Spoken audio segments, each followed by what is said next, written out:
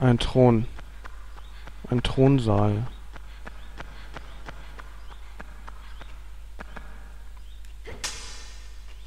Der nichts bewirkt, wenn wir uns auf den Thron stellen.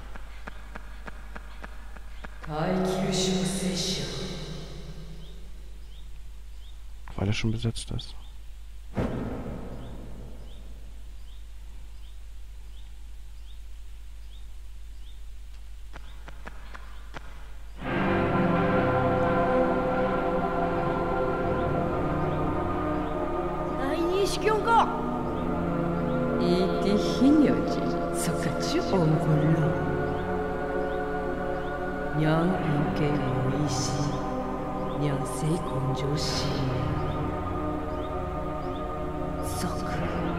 日女祭司イーウォコンツ素材襲名王座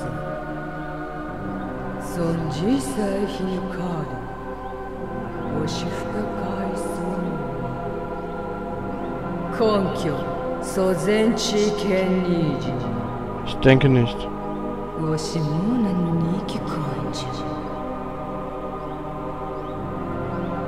Denke nicht.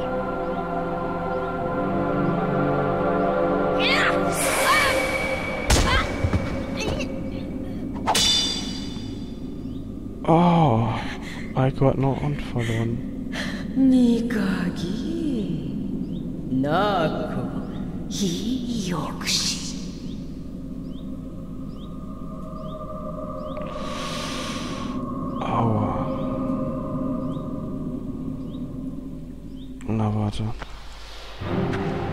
Ich noch den Gar, den Gar ausmachen. Nur wie? Okay. Ähm. Ah, alles klar.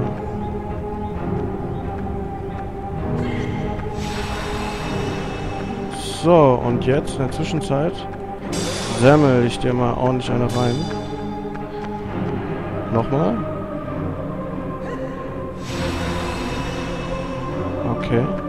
Hinter diesen Dingern kann ich mich... Ach, mein Schwert ist weg. Das ist weggeflogen. Oh.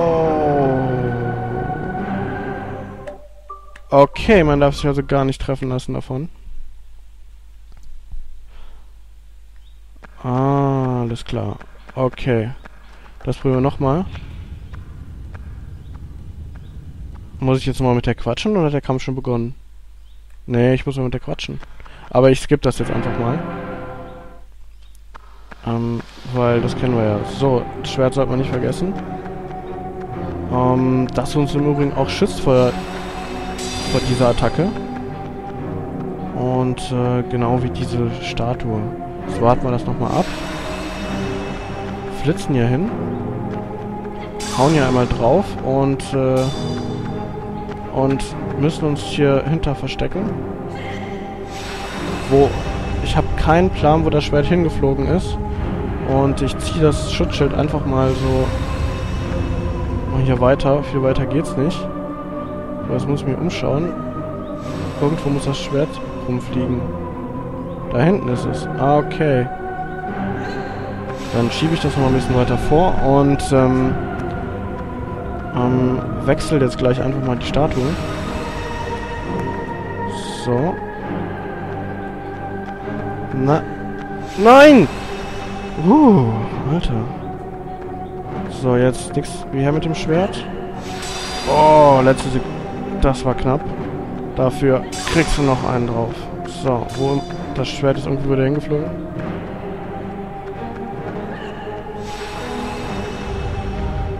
Ich spiele nochmal. Ich gehe mal bis hier hin und das ist da hinten. Dann gehe ich, mache ich den Weg nochmal so, dass ich äh, bis hierhin gehe. Schnell zur anderen Statue flitze, den, nächst, den nächsten Stoß abwarte. Und jetzt das Schwert hole, was hier irgendwo sein muss. Alles klar, okay. Abwarten, abwarten. Und Nummer 3. Zack. Ist wieder weggeflogen. Shit. Irgendwie auf meinem linken Ohr habe ich es gehört. Äh, in der... Ja, es ist auch da. Gut. So.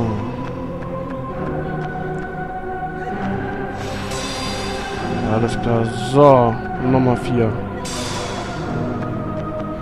Wieder linkes Ohr. Nein! Schnell, hier, hier hinter.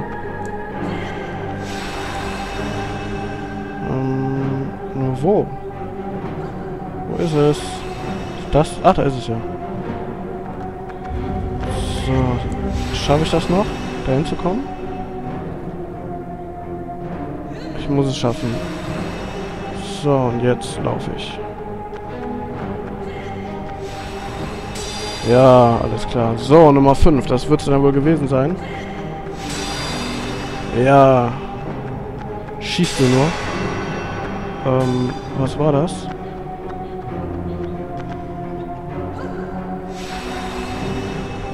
Okay, sie hat... Oh! Klar, wie soll ich denn da jetzt mal an mein Schwert kommen?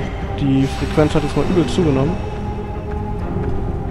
Wo ist das überhaupt? Wo ist das Schwert? Seht ihr das?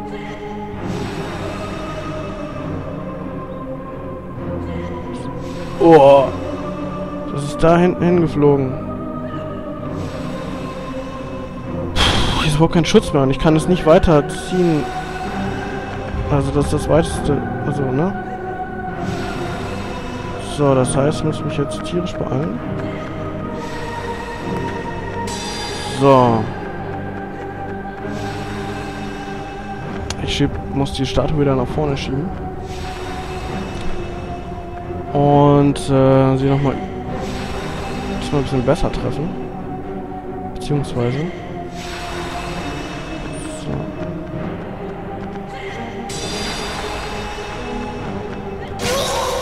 Jawohl.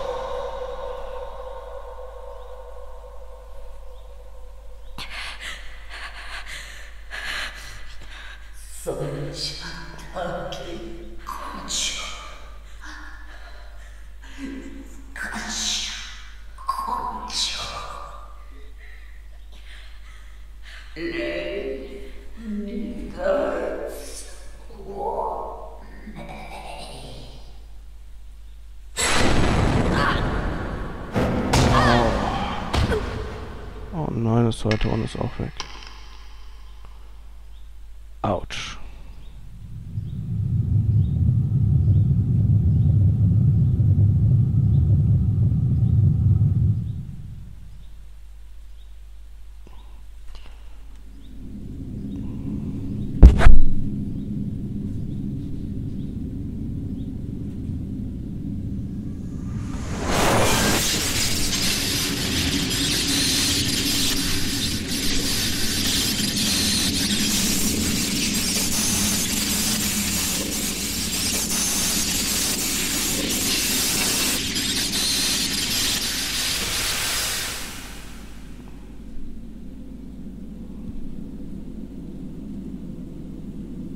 Was Schicksal bedeutet.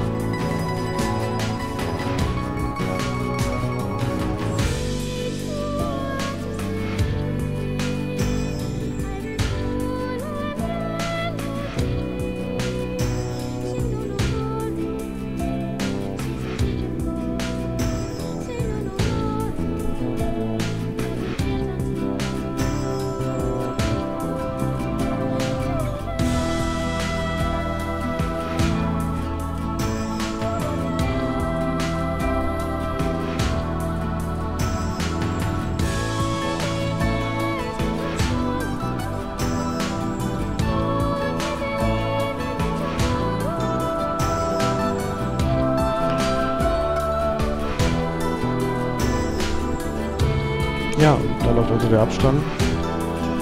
Ähm, ja, nochmal ein paar Szenen aus dem Intro. Wir haben gesehen, dass das ganze Schloss zerfallen ist.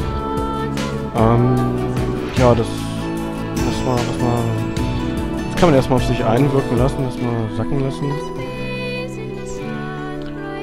Ähm, ja, das ist, äh, damit hat die Mutter dann recht behalten, dass Yoda niemals fliehen konnte. Es war halt schon zu spät, also. Hm, es war halt zu spät. Also, sie war halt schon offenbar über all diese Seelen an dieses Schloss so gebunden, dass, ja, dass, dass es halt nicht, dass sie gar nicht mehr, gar nicht mehr fliehen konnte. Ja. Ja, sehr schönes Spiel. Sehr, sehr schönes Spiel. Sehr kurz. Ähm, ich hätte es nicht damit gerechnet, dass ich das jetzt noch in einer Session durchkriege. Ähm, aber aber wirklich sehr, sehr angenehmes Spiel. Sehr angenehm zu spielen. Ja, wer es noch nicht gespielt hat, dem kann ich es nur empfehlen. Ähm, aber ich denke, Ico, auch wenn es nicht so der Verkaufsschlager war, ist es doch, denke ich, schon ein ziemlicher, ein ziemlicher Klassiker ähm, geworden. Ja.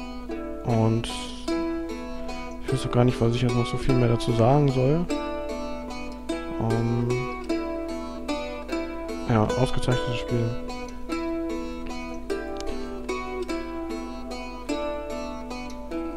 Also ich, das meiste habe ich halt schon mehrmals betont während des, des, des, des Spielens. Also ich meine, ich bin ja quasi bis, bis zu den letzten ähm, Räumlichkeiten, an die wir gelangen sind, ähm, da, also es, es, es gab immer irgend, irgendeine Stelle, die, die ich halt, ja, aus artistischer Sicht besonders gelungen fand. Also sei es vom, entweder vom Level-Design her, also sprich, ja gut, eigentlich war das ganze Spiel ein Level, wenn, wenn man so will, ein aneinanderhängendes Level, aber diese einzelnen Unterabschnitte, die waren halt auch ziemlich, ziemlich gut gemacht. Und, ähm, ja, die, also so pompöse Kamerafahrten, die man so häufig gesehen hat, wo man im Hintergrund viel Landschaft, viel Raum gesehen hat oder, äh, ach, was weiß ich, also, das Spiel fand ich einfach noch faszinierend. Diese, ähm, die Animationen der einzelnen Figuren so flüssig und authentisch, obwohl es offenbar nicht nach einer Caption, äh, Motion Capturing, ähm, äh, also obwohl die Bewegungen nicht über Motion Capturing aufgenommen wurden, sondern die haben ein anderes Verfahren ähm, dabei benutzt, dessen Name mir jetzt gerade nicht anfallen will, aber ich glaube, ich habe es in den Text drin. Also wer es nachlesen will und ein ungewöhnliches Wort findet, das ist vermutlich die, die, ähm, ja, die Art, wie sie eben die Bewegung animiert haben. Gut, damit wäre auch der Abspann durchgelaufen. Und wenn nichts weiter kommt, würde ich sagen, ähm, ja, es kommt aber noch was.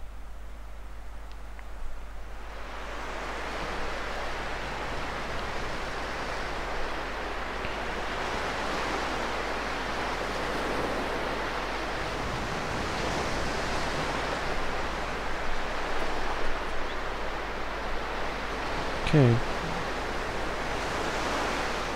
Aiko ist tatsächlich an, den, an, einen, an einen Strand gespielt worden.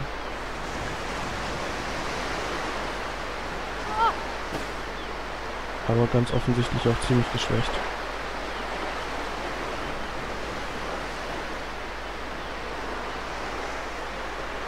Ich kann ihn sogar steuern. Ich kann was an dem Strand rumlaufen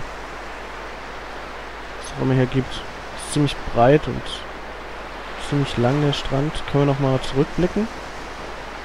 Hier müsste sich irgendwo das Schloss befinden.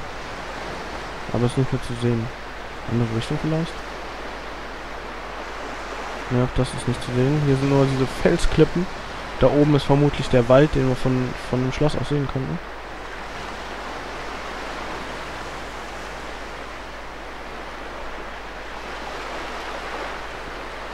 Hier ist noch etwas grüne Fläche.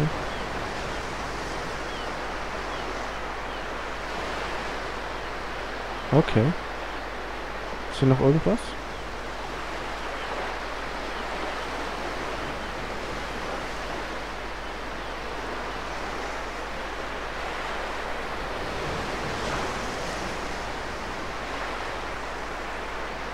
Hier ist ein Strand.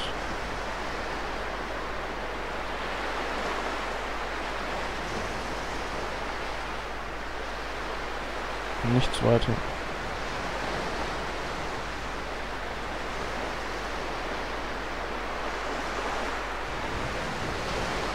Ich laufe noch ein bisschen auf dem Grün rum. Da ist ja irgendwas. Hier gibt es auch nichts Dolles mehr. Hochspringen kann ich jetzt auch nicht.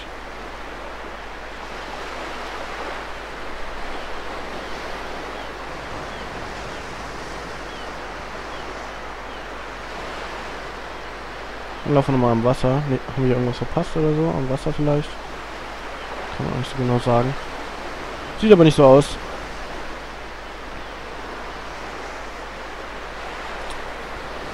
Würde trotzdem auch ganz gerne hier. Gibt's hier nichts? Ist gar nichts. Da hinten ist noch ein kleines Büschlein. Hm. Aber.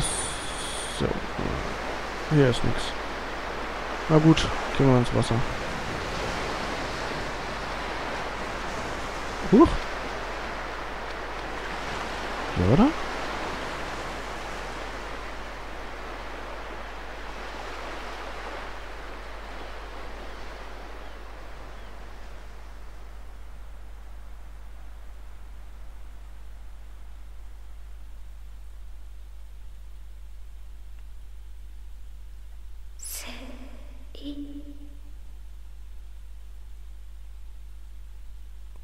Okay. Gut, das lässt natürlich auch Raum zur Spekulation. Wenn man vorher denkt, dass äh, Jorda so an... Speicher bitte. Ja, guck mal, wie, wie schnell man das Spiel durchspielen kann.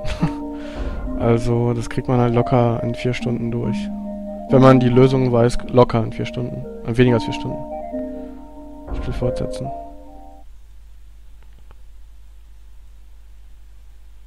Also fortsetzen hieß jetzt vermutlich genau das Spiel nochmal von neuem zu beginnen. Ja, okay, wir haben äh, wir haben Jorda noch äh, noch mal am Strand gefunden und ähm, ja, wer weiß, was da passiert ist. Vielleicht hat ja der Zerfall des Schlosses einfach noch ja einfach bewirkt, dass, dass sie sich dann doch von dem Fluch lösen konnte, beziehungsweise von ihrem ja, Schicksal, was auch immer. Auf jeden Fall wirkte sie jetzt gerade sehr viel menschlicher als ähm, vorher, wenn man genau hingeguckt hat, denn da konnte man ja sehen, das mache ich jetzt nicht nochmal, da konnte man ja ähm, sehen, dass, äh, ja, also sie hat ja gerade ein richtiges Gesicht gehabt. Vorher war das ja immer alles so über, so weiß überstrahlt. Man konnte nur erahnen, dass es halt eine menschliche Figur ist, aber, aber ihre Physiognomie, Physiognomie konnte man nie wirklich erkennen. Ja, interessant. Ähm, lässt hoffen, dass ähm, The Last Guardian darauf wieder so ein bisschen eingeht. Vielleicht noch die Geschichte von Ico. The Last Guardian, ähm, ich weiß nicht, wann soll das rauskommen? 2013 oder so? Eine Art, ähm, naja, auf jeden Fall das dritte Spiel der, ähm, der Macher von, also der Macher von Ico, Team Ico. Und da bin ich sehr, sehr gespannt drauf. Ich glaube, wie sehr viele. Ähm, ja, was aus dem Spiel wird. Und ich glaube, mit diesen Worten würde ich sagen, ähm, verabschiede ich mich jetzt einfach mal. Ich habe habe glaube ich jetzt wirklich genug gequatscht. Und sag einfach mal herzlichen Dank an euch fürs Zuschauen und einen ganz herzlichen Dank an Team Ico für dieses wundervolle, äh, wundervolle Spiel. Ja, und ich hoffe, wir sehen uns beim nächsten Projekt wieder. Und sag einfach mal bis dann. Ciao.